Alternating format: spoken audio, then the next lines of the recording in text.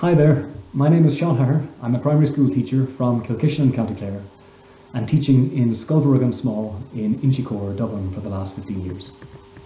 I've been a runner ever since I was a young boy and over the years I've been lucky enough to run the marathon for Ireland and to win the Dublin Marathon.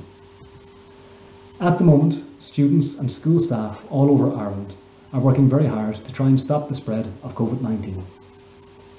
Many of us are working very hard learning and teaching online as we continue to follow the advice of our health experts and government. We're spending a lot of time indoors learning online and it's very important for us to remember to get outside and exercise, even for teachers like me.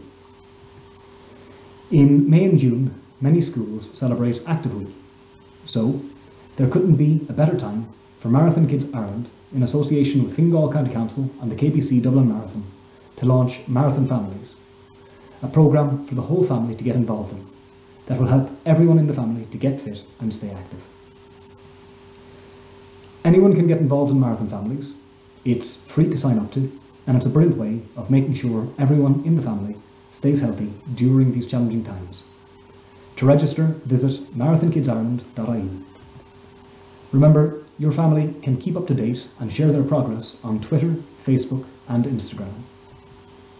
Stay safe, everyone, and best of luck to all the families that sign up to Marathon Families this June.